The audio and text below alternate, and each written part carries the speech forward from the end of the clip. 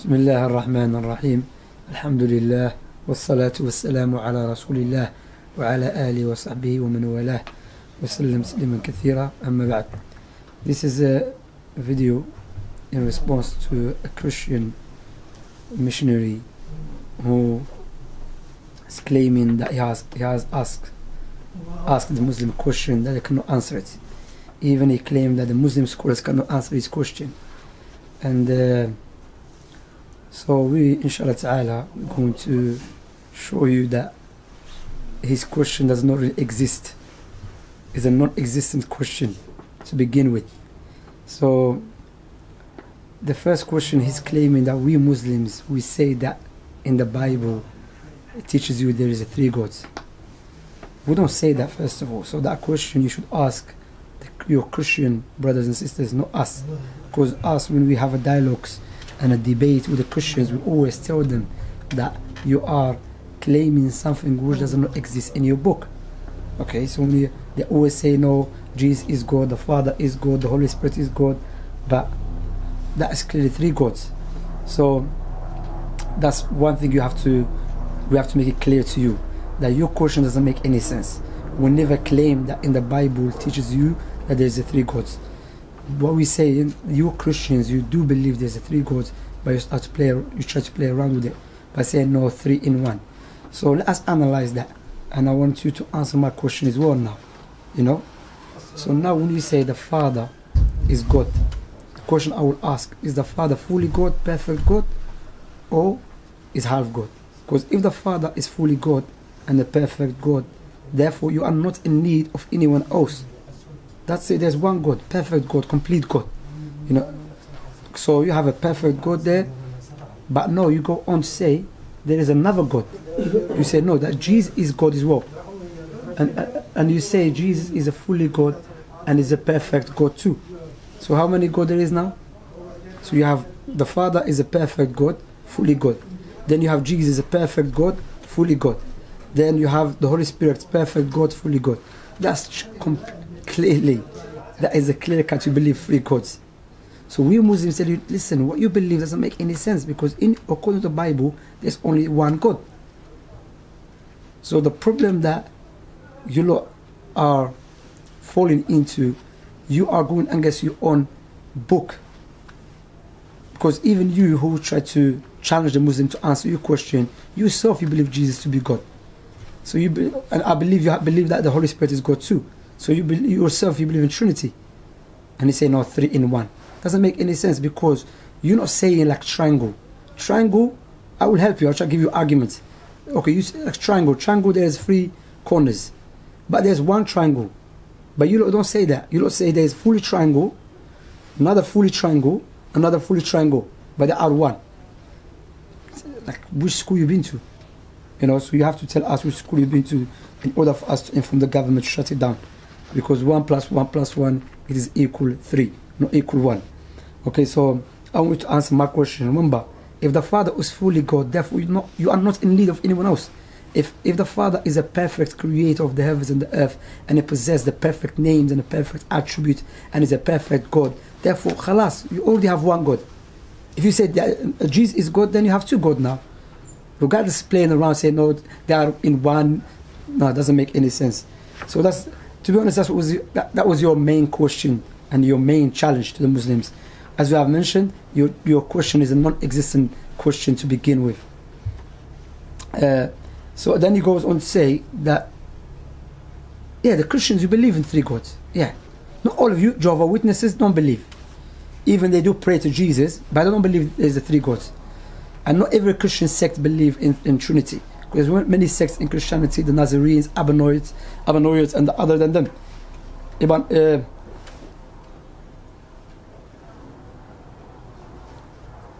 the other ones as well. But the point here is, so you, you, as yourself, you believe there is a three gods without any doubt, and as I've mentioned. And now, the question I will ask you, that you said, yeah, Jesus prayed to God. But when Jesus prayed to God, he was praying as human. So you go on to say that Jesus had two nature. He was God and a man at the same time. So as a man, he prayed to God. But as God is perfect. But the question I will ask you, you as a Christians, you believe Jesus as God is not the Father, and is not, and likewise the Holy Spirit is not the Father. So when Jesus said, no one knows, according to Mark 13, 32, when Jesus said, no one knows the day and the hour, not even the angels in the heaven, nor the Son, but only the Father, who is he referring to? He cannot be referring to himself because Jesus as God is the Son God, he's not the Father. That's what you believe. The Holy Spirit as God is not the Father. So clearly we can see that the Father has more knowledge than Jesus as God and the Holy Spirit. Therefore, logic dictates those both uh, uh, Jesus and the Holy Spirit cannot be God.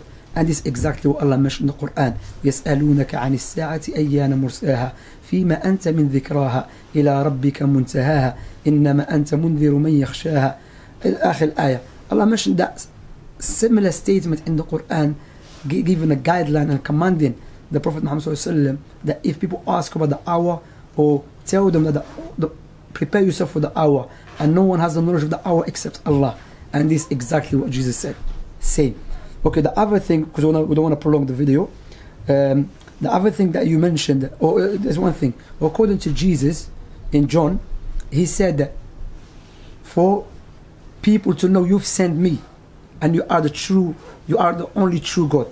He's speaking to the Father. So the question I will ask you if Jesus are Jesus clearly saying the only true God is the Father therefore Jesus as God is has, has to be false God likewise the Holy Spirit has to be false God because according to Jesus' word in والسلام, the only true God is the Father. There's another problem.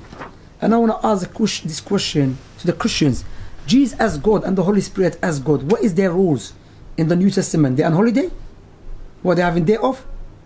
They, like Jesus always in the New Testament, always the Father is God. The Father is greater than I. Without the Father, I can do nothing. Always the Father, always praying to the Father. I pray to the Father. But we know that you always have to pray to God. So how come Jesus not praying to his God nature or to the Holy Spirit? That shows clearly, as one of the scholars said, that the Christians they go to any clear verses, try to explain according to their desires, and deliver clear verses which go against their own belief that Jesus to be God or the Holy Spirit to be God.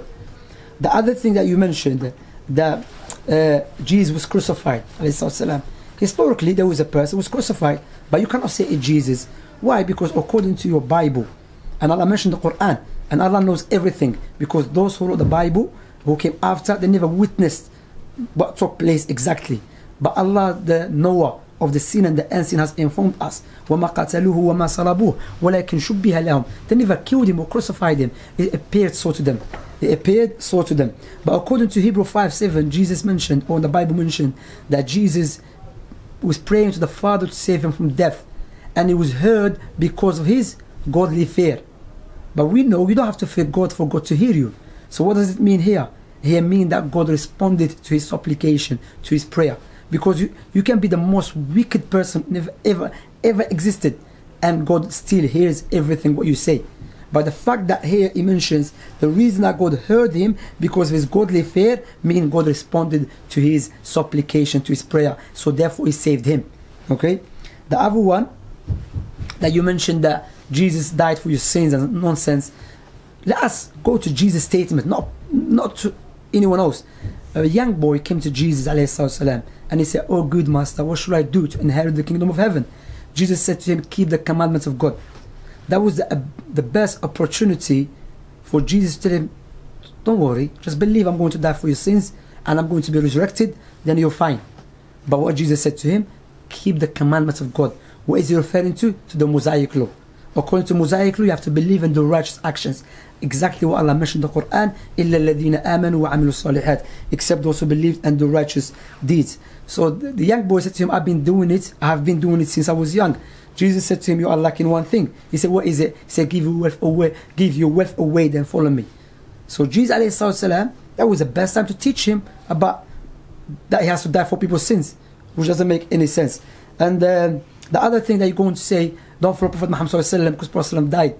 Yeah, but according to you, according to Jesus, who you believe is God, he said he came to follow, he came to fulfill the Mosaic law, not to go against it. And the Moses died as well. And why you God telling people to follow Moses if Moses, because God told Jeremiah, Isaiah, all the prophets, including Jesus, to follow the Mosaic law. So therefore, God, God is giving you uh, wrong teaching. Doesn't mean because someone died, Prophet Muhammad Muhammad's teaching is still alive. Even his, his, his biography, his sunnah. Not like Jesus, those who spoke about him, they never met him. Mark, Luke, John, not John the Baptist, the John who wrote the Bible. Okay? The other thing that you keep telling us, where is Jesus' bones? We don't believe Jesus died anyway. Why are you asking us where is Jesus' bones? Are you serious? I, I, don't think you are making no sense. But the, the, reason we're making video to refute your claim and your challenge because you have people that uh, viewed your video 300 over 300,000 people. So we want to show people that your argument is very weak and doesn't make any sense. So you ask us to show you Jesus' bones, but we don't even believe Jesus died. We believe Allah raised him. So I think you're asking the wrong people again. Anyway, we stop here, inshallah ta'ala, and we ask Allah to guide you to the truth, and that your argument is a very weak argument. And uh, uh, I will conclude with this. Look to how Allah subhanahu wa ta'ala described himself. There is no confusion. Allah mentioned clearly in the Quran. Bismillah ar-Rahman ar-Rahim. قل هو الله أحد الله الصمد لم يلد ولم يولد ولم يكن له كفوا أحد In the name of Allah, the most merciful, the most beneficent. Say, O Muhammad, Allah is one, unique, master, self-sufficient. Everyone's in need of Him. He's not in need of no one. He beget not, neither was he begotten.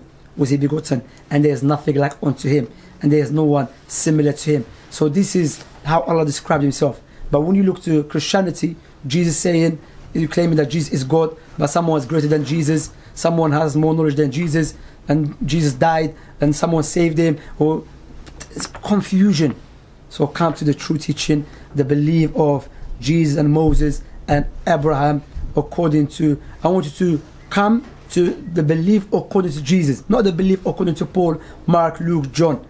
Okay? The belief that which Moses, Abraham, Noah, Jacob, Ishmael, Isaac possessed and believed that and that belief is, is in the Quran with the clear cut proofs and evidences likewise in the prophetic tradition and Allah Ta'ala alam and sallallahu nabina Muhammad we ask Allah subhanahu wa ta'ala to shower his prophets and messengers from Adam to Prophet Muhammad with his blessings and with his mercy and uh, uh, we conclude with this barakallahu fikum and may Allah guide those who are sincere from the Christians because me as always focus more on those Christians out there or the Jews or atheists who are sincerely seeking the truth as for the other guys who are clearly blinded with their lies and keep lying against Islam, then you never know. Allah will guide them. We still pray for them so Allah guide them to the truth.